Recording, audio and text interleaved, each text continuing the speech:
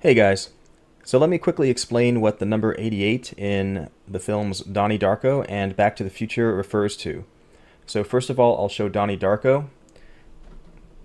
So his last name is Darko, which is a play on words, because an annular eclipse, like the one on October 2nd, resembles a dark O.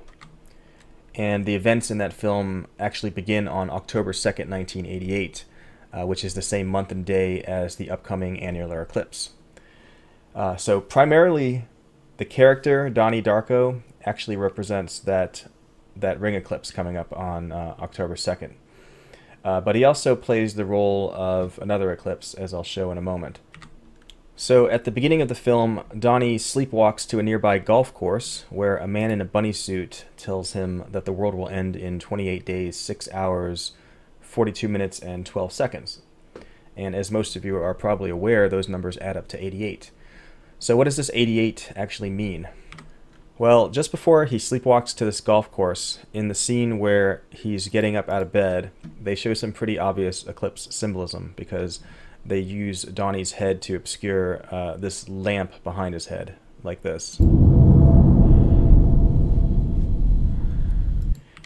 So obviously here they want to show us a solar eclipse, but there's more than that because they have Donnie lean forward in this awkward pose here so that his back lines up with these blankets to form a line. Uh, now it's kind of hard to see in this picture here, so I brightened the image a little bit. And now you can see that that line actually matches the path of totality of the first great American eclipse, you know, the one that occurred back in August of 2017. So with the scene, they're showing you that eclipse. And right when he gets up, they reinforce that because right after they show that 27, uh, 2017 eclipse, they show the American flag, just to reinforce the fact that they're showing you that first great American eclipse. Okay, so at that point, he goes to the golf course and uh, meets the man in the bunny suit, and he tells him that, he, and he gives him this number 88. And you know, Donnie Darko represents primarily that 10-2 eclipse. So the meaning of the 88 is that uh, between this eclipse here, this first great American eclipse, and the upcoming October 2nd annular, annular eclipse, uh, the moon actually goes around the Earth exactly 88 times.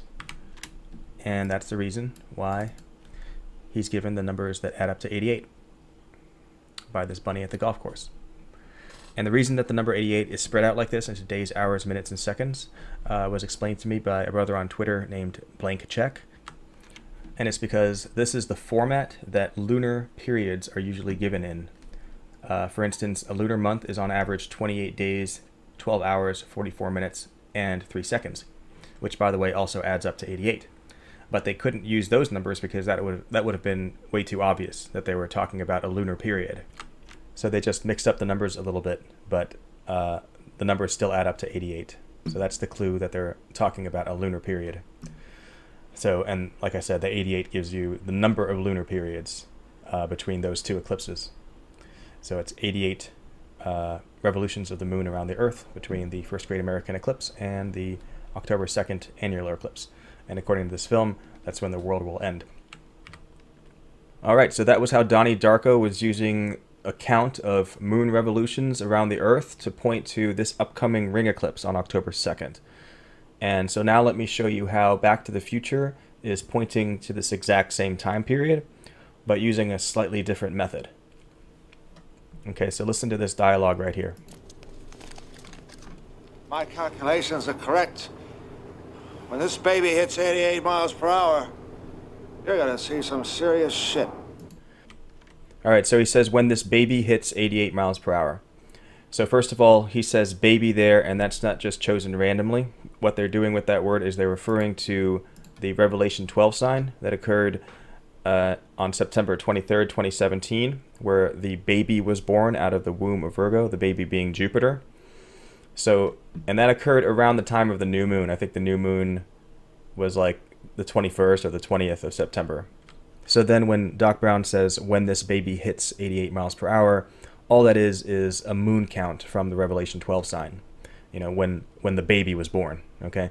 So yeah, all you have to do is count the number of moons from that sign. So I have this spreadsheet here that shows uh, in this column all of the new moons starting in 2017. And so this row right here corresponds to the Revelation 12 sign because this is the new moon of September 20th. And the Revelation 12 sign was like, you know, two or three days later. So once, once that sign occurred, uh, we're going one mile per hour, right? So to speak.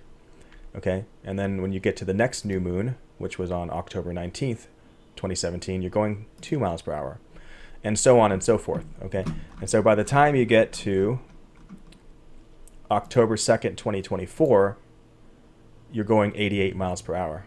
So that's when this baby reaches 88 miles per hour. So you can see that Donnie Darko and Back to the Future are pretty much doing the same thing. The only difference is that Donnie Darko is doing a moon revolution count starting at the first great American eclipse of August 2017 and ending at that um, October 2nd annular eclipse, which corresponds to the 89th new moon. So that means that the moon revolved around the Earth exactly 88 times between those two dates. So that that's the 88 that that rabbit is referring to in Donnie Darko. Whereas Back to the Future, on the other hand, is starting at the Revelation 12 sign one month later, and then using this miles per hour concept so they can say once you get to that October 2nd, 2024 eclipse, that instead of having completed 88, you've reached 88. Uh, in other words, you've reached 88 miles per hour. And by the way, this doesn't necessarily mean that right when this eclipse occurs, you know, immediately big events are going to happen. You know, uh, it could be two days later, it could be a week later. Who knows? but these films definitely seem to be pointing at this October 2nd eclipse as you can look at it as like a starting line for events. The gospel is the good news of how Jesus Christ, who is the Son of God, came to this earth to die on the cross for our sins. He was buried and then he rose again three days later. He did this to give us eternal life in heaven and to save us from hell. The Bible says in Acts 16:31, "Believe on the Lord Jesus Christ and thou shalt be saved." Once you're saved, you're always saved. Jesus said in John 6:47, "Verily, verily, I say unto you, he that believeth on me hath everlasting life." So to be saved from hell and to have the gift of eternal life, you must trust Christ alone.